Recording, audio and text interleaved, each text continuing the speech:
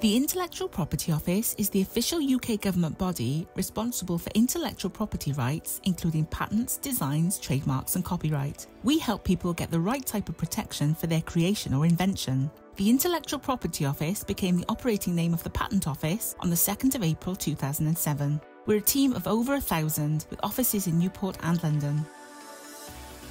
The team is made up of specialists in rights granting, IT, finance, and HR. We're responsible for IP policy, educating businesses and consumers about IP rights and responsibilities, supporting IP enforcement, and granting UK patents, trademarks, and design rights.